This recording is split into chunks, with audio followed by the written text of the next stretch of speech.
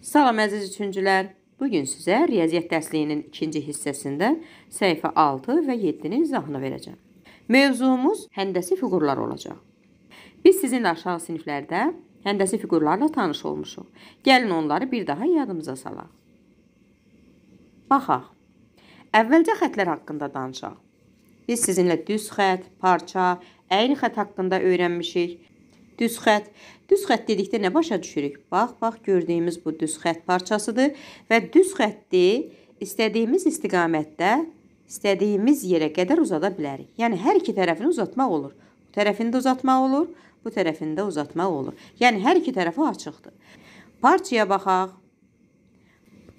Gördüyümüz kimi parçanın hər iki tərəfi məhduddur.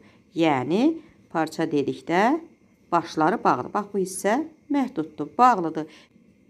Biz parçanı heç bir tərəfə doğru uzada bilmərik. Çünki parça məhduddur, hər iki tərəfdən məhduddur. Əyri xətlərə diqqət edək. Əyri xəttdə gördüyümüz kimi müxtəlif ola bilər. Müxtəlif cür əyri xətlər çəkə bilərik. Çox bucaqlılara baxaq. Hansı fiqurlara biz çox bucaqlı deyirik? 3 və daha artıq bucağı olan müstəvi fiqurlarına çox bucaqlı deyirik. Üç bucaqlara baxaq. Üçbucaqlar müxtəlif olur. Bərabər tərəfli üçbucaq, düz bucaqlı üçbucaq, müxtəlif tərəfli üçbucaq və yaxud da bərabər yanlı üçbucaq. Yəni, iki yan tərəfi bərabər olur. Üçbucaq çox bucaqlı sayılır.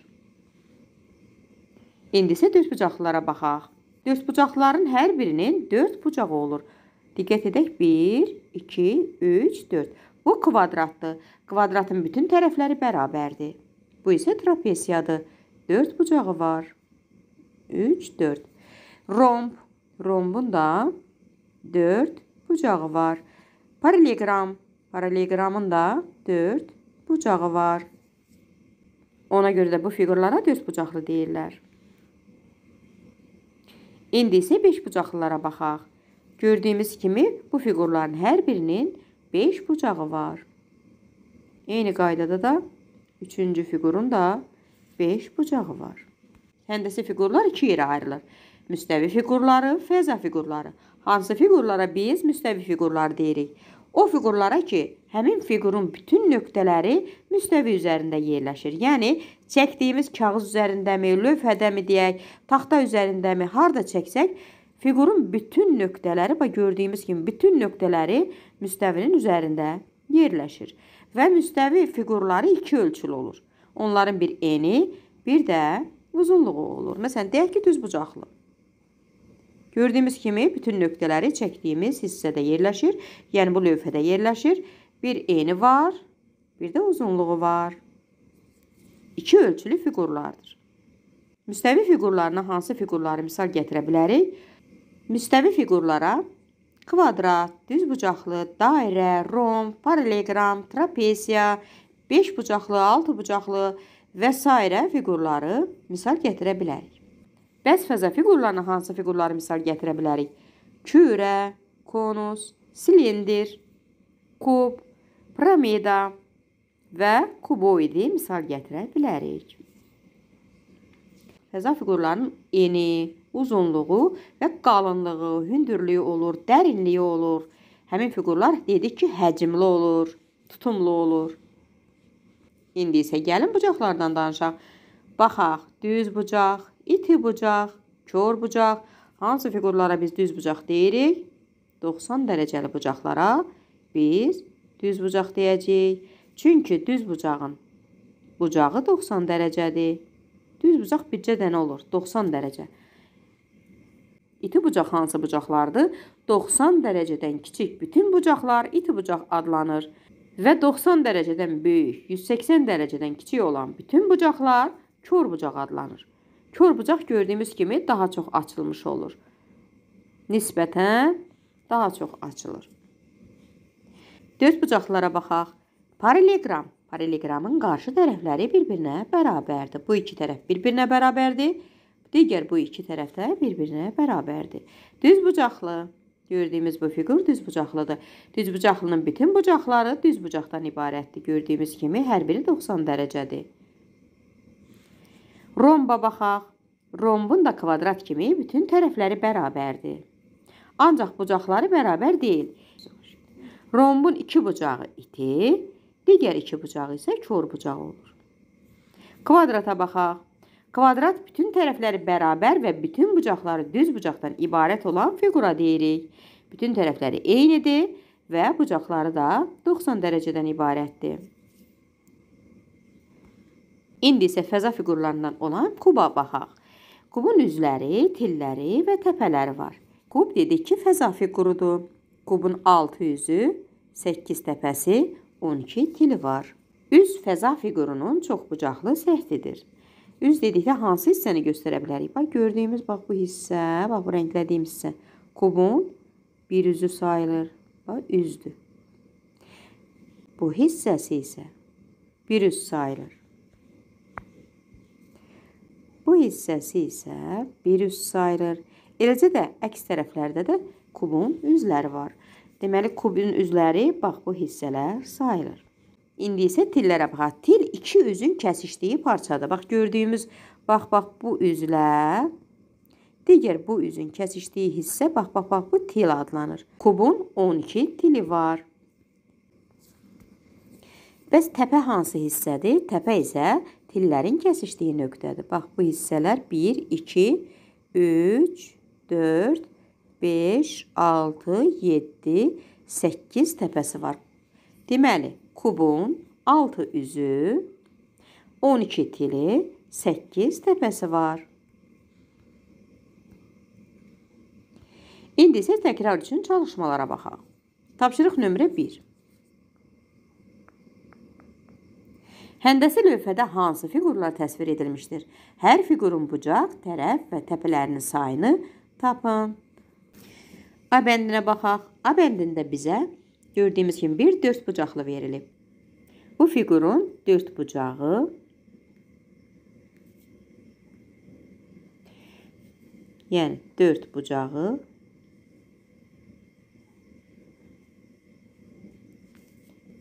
dörd tərəfi 1, 2, 3, 4. Dörd tərəfi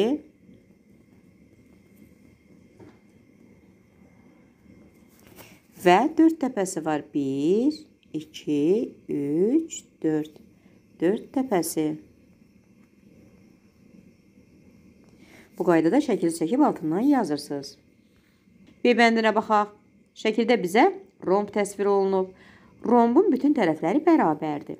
Ancaq, ancaq qarşı bucaqları bərabər olur. Baxaq. Deyək ki, rombun 4 bucağı var. 1, 2, 3, 4. 4 tərəfi var. 1, 2, 3, 4.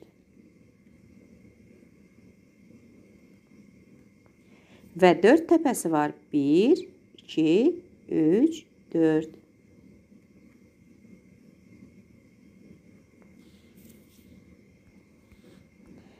C bəndinə baxaq. Şəkildə bizə paraleqram təsvir olunub. Paraleqramın da qarşı tərəfləri bir-birinə bərabərdir. Bax, bu hissə ilə bu hissə bərabərdir. Bu tərəflə də bu tərəf bir-birinə bərabərdir. Baxaq. Paraleqramın 4 bucağı var. 1, 2, 3, 4. 4 tərəfi 1, 2, 3, 4.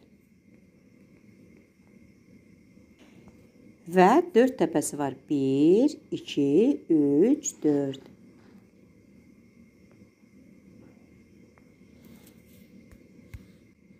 D bəndinə baxaq. Şəkildə bizə kvadrat təsvir olunmuşdur. Kvadratın bütün tərəfləri bərabərdir və bütün bucaqları 90 dərəcədir, yəni düz bucaqdır. 1, 2, 3, 4, 4 bucağı, 4 tərəfi və 4 təpəsi. E bəndinə baxaq. Bu bir çox bucaqlıdır. Baxaq görək neçə bucağı var. 1, 2, 3, 4, 5, 6. Deməli, fiqurun adı nədir? 6 bucaqlı. 1, 2, 3, 4, 5, 6 tərəfi. 1, 2, 3, 4, 5, 6 təpəsi. Tapşırıq nömrə 2. Çoxbucaqlıların adını söyləyin. Nömrələnmiş bucaqların növünü müəyyən edin. A bəndinə baxaq. Verilmiş fiqur 5 bucaqlıdır. Bucaqlara baxaq. Birinci bucaq. Birinci bucaq düz bucaqdır. İkinci bucağa baxaq. Bax bu bucaq. Kör bucaqdır. Üçüncü bucaq da kör bucaqdır. Dörd bucaqlıdır. Gördüyümüz kimi dörd bucaqdan ibarətdir. Əvvəlcə yazırıq dörd bucaqlı. Və bucaqlara baxaq. Birinci bucaq. Kör bucaq.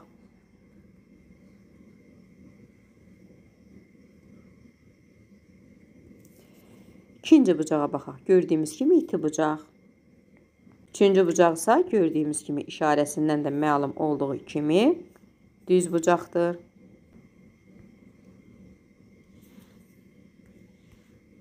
C bəndinə baxaq. Üç bucaq. Birinci bucaq düz bucaq.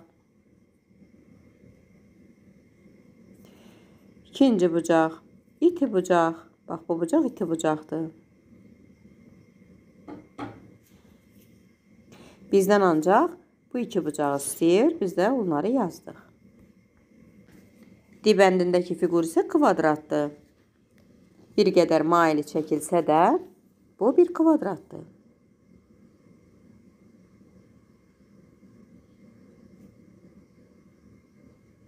Dedik ki, kvadratın bütün bucaqları və bütün tərəfləri bərabərdir.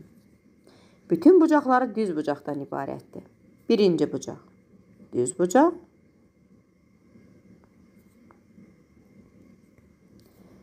və ikinci bucaqda düz bucaq.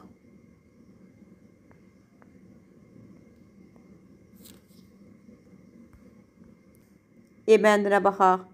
Verilmiş fiqur dörd bucaqlıdır. Yəni bu cür fiqurlara biz trapesiya deyəcək gələcəkdə. İndi isə dörd bucaqlı yazaq. Birinci bucaq. Kör bucaq. İkinci bucaq. Yine kör bucaq.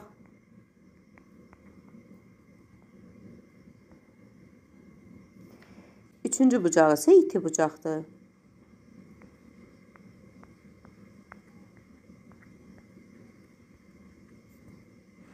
Tapşırıq nömrə 3.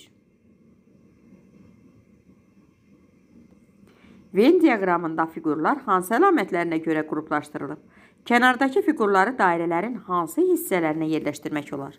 Gördüyümüz kimi bizə Venn diaqramı təsvir olunub. Venn diaqramı nədir? Venn diaqramı kəsişən dairələrdən ibarətdir. Bu fiqurların ortaq hissəsi gördüyümüz bu orta hissiyə aid olan nə varsa, hər iki dairədə olan əlamətə aid olacaq. Yəni, sol tərəfdəki dairənin əlaməti nədirsə, yəni buradakı fiqurlar hansı əlamətdədirsə, ortaya düşən fiqurlarda həmin əlamətə uyğun olacaq. Və yaxud da sağ tərəfdəki dairədə hansı əlamətlər qeyd olunubsa, hansı fiqurlar varsa, ortadakı fiqurlar həm də sağ tərəfdəki dairəyə aid olacaq. Baxaq. Əvvəlcə əlamətini tapaq. Gördüyümüz kimi ortaya düzbucaqlı və dördbucaqlı, yəni trapesiya daxildir. Düzbucaqlının dörd bucağı düzbucaqdan ibarətdir. Trapesiyanda iki düz bucağı var gördüyümüz kimi. Sol tərəfdəki dairəyə baxaq. 5 bucaqlıdır. Yalnız bir bucağı, yəni bir bucağı və üç bucağın da yalnız bir bucağı düz bucaqdan ibarətdir. Sağ tərəfdəki fiqurların isə heç birinin düz bucağı yoxdur. Romb, paralelogram və trapesiyanın heç birinin düz bucağı olmadığı üçün bunlar ayrı qruplaşdırılıb. Deməli, sağ tərəfdəki fiqurlar Yalnız dörd bucaqlıdırlar. Əlamət nədir? Dörd bucaqlıdır. Dörd bucaqlı. Ancaq bucaqların sayına görə qruplaşdırılıb. Bucaq. Sol tərəfdəki dairəyə düz bucağı olanlar, sağ tərəfdəki dairəyə isə dörd bucaqlılar daxildir. Ortadakı fiqurlar sol dairəyə daxildir ona görə ki, onların düz bucağı var. Sağ tərəfdəki dairəyə ona görə daxildir ki, onlar dörd bucaqlıdır və bizə verilən fiqurlara baxaq, uyğun hissəyə yönəldək. Üç bucaq. Gördüyümüz kimi üç bucağın bir düz bucağı var. Hansı hissəyə gedəcək? Bu birinci dairəyə, yəni sol tərəfdəki dairəyə daxil olacaq. Ortadakı fiqur isə dörd bucaqlıdır, həm də düz bucaqları var. Ona görə də hər ikisinə aid olduğu üçün ortaya aid olacaq və sonuncu sarı fiqur isə gördüyümüz kimi e, ancaq və ancaq düz bucağı olmadığı üçün daxil olacaq sağ tərəfdəki dairəyə. Tapşırıq nömrə 4. Suallara cavab verin. Gördüyümüz kimi bizə fəza fiqurları verilmişdir. Birinci fiqur kuboiddir. İkinci kürə, üçüncü kub, silindir, piramida və konusdur. A bəndinə baxaq. Hansı sualı verir bizə? Hansı fiqurların təpəsi yoxdur? Gəlin baxaq. Dedik ki, təpə tillərin kəsişdiyi nöqtədir. Bax, bu fiqurun, yəni kürənin və silindrin təpəsi yoxdur. Deməli, A bəndinin qarşısına yazırıq. Kürə, silindir. B bəndinə baxaq. Piramidanın tillərinin sayı kuboidin tillərinin sayından nə qədər azdır? Gəlin baxaq. Kuboidin dedik ki, neçə til var? Kuboidin 12 tili var. Piramidanın neçə tili var? Piramidanın baxaq neçə tili var? Bir daha baxaq. 1 2 3 arxa tərəfdə 4 5 6 7 və 8. Daha aydın şəkildə baxaq burada piramidaya.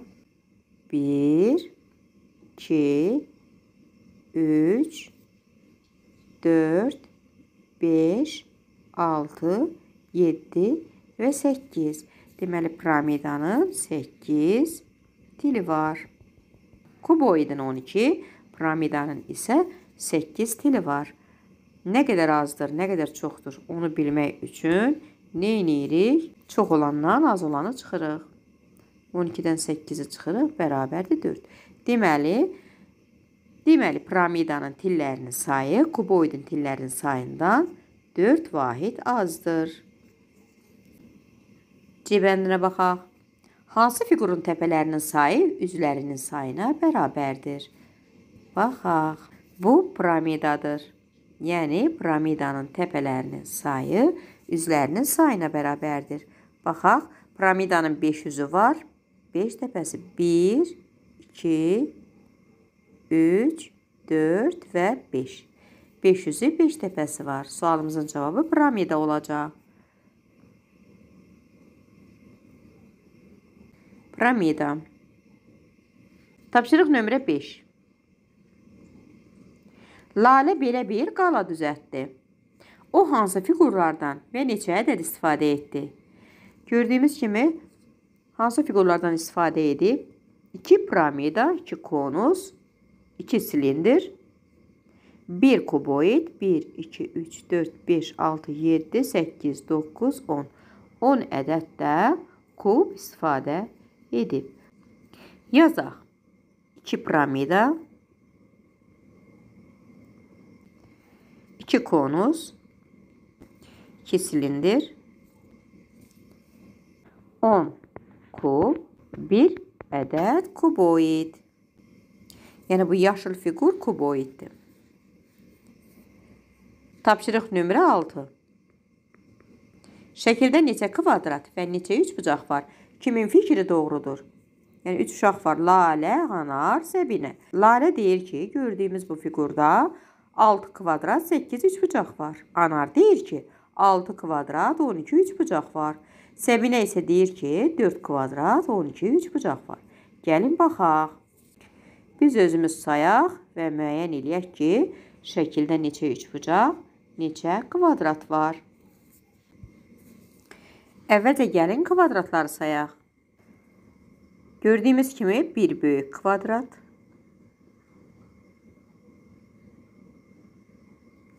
Və ortada ikinci bir nisbətən kiçik kvadrat.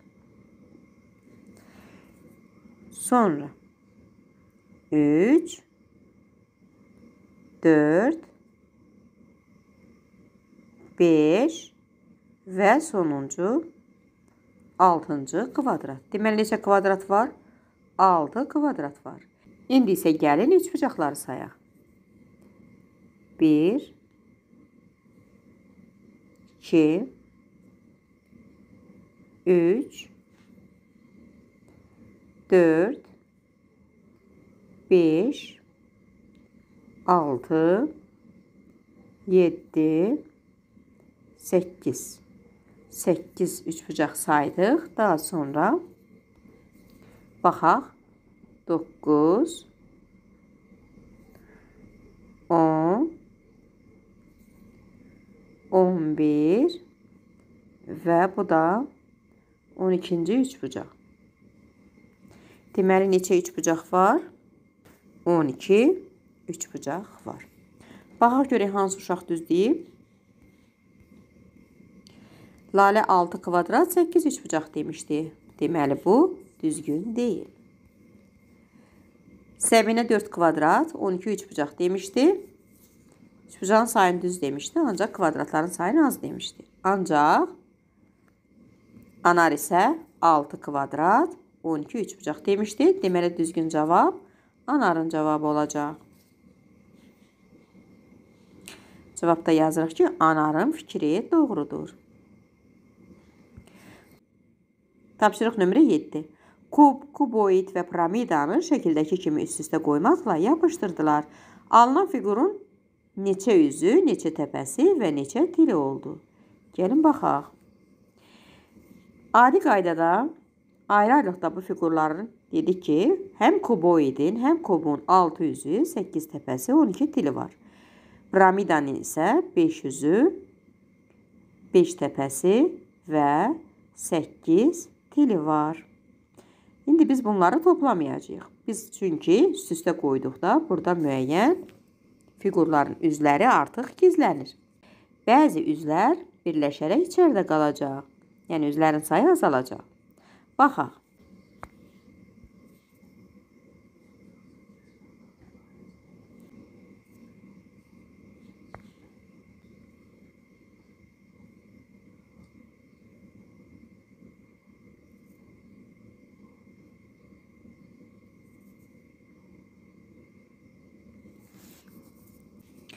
Gördüyümüz kimi biz bu fiqurları üst-üstə yığdıqda belə bir fiqur alınır. Gördüyümüz kimi bu fiqurları üst-üstə yığdıqda bax bu hissə gördüyümüz kimi bu fiqurları üst-üstə yığdıqda gördüyümüz bax bax bu üz, yəni piramidanın bu üzü ilə kubun üzü birləşir və içəridə qalır.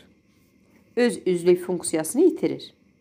Deməli burada üzlərin sayı azalır və burada da bax bu hissədə yenə kuboidlə kubun üzləri birləşir və içəridə qalır. Ona görə də baxaq görək neçə yüz var. Gördüyümüz kimi bir üz, iki üz, bax bu hissə və arxada da yenə iki belə üz var, dörd üz, alt hissədə bir üz, beş üz və piramidanın üzləri bir, iki, 3, 4. 400 də piramidanın üzləri. Neçə yüz olacaq? 9, 100. Deməli, fiqurun 9 üzü. İndi isə təpəsini tapaq. Neçə təpəsi olacaq? 1, 2, 3, 4, 5, 6, 7, 8 və 9. 9 təpəsi, təpə. İndi gəlin tillərə baxaq. Tilləri sayaq. Əvvəlcə piramidanın tillərini sayaq. 1, 2, 3, 4, 5, 6, 7, 8, 9, 10, 11 və arxadakı 12, 13, 14, 15 və 16. Tillərin sayı isə 16 olacaq. 16 til. Deməli, fiqurun 9 üzü, 9 təpəsi 16 til olacaq. Tapşırıq nömrə 8-ə baxaq. Məsələ nömrə 8. Səbinənin 12 kubu var. O bu kubları birləşdirib yeni kub düzəltmək istədi. Səbinə bunu necə edə bilər? Neçə kub artıq qalar? Gördüyümüz kimi Səbinə artıq 4 kub alt hissədə düzüb. Bu bizə bir yoldur. Yəni biz buna baxaraq tapa bilərik. Yəni bu kubların üzərinə daha 4 kub da qoysa 8 kub olacaq və bu 8 kub böyük bir kub əmələ gətirəcək. Gəlin həmin kubu çəkək. Gördüyümüz kimi alt hissədə 4 kub var. Yəni Səbinənin düzlüyü 4 kub alt hissəyə yerləşib. Onun üzərinə də daha 1, 2, 3 və 4-cü kubları qoysaq 8 kub edəcək. Deməli 8 kubdan böyük bir kub düzəldəcək. Yerdə isə 4 kub artıq qalacaq. Artıq qalar. Dahımız bitdi. Sağ olun. Gələn izahlarda görüşənədək.